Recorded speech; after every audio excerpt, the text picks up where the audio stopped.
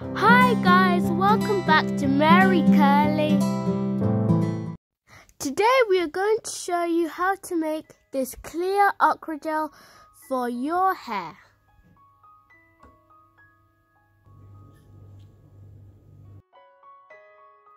First wash the, the okra in water and then remove the end bits.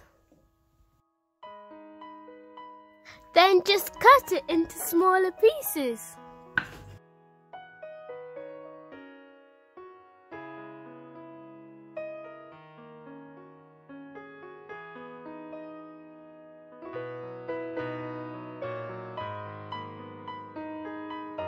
Next, put the cut okra pieces into a pan and then boil for 5 minutes. Make sure you stir occasionally to make sure that you release all the gel. Use the sieve to strain the okra gel.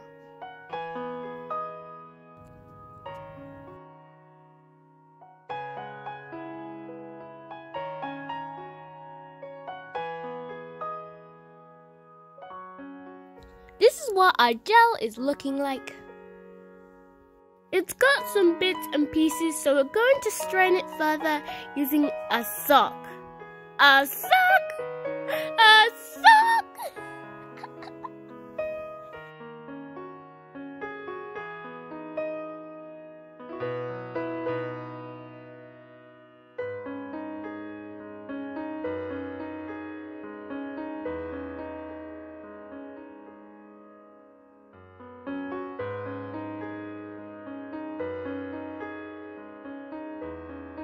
That's our okra gel done.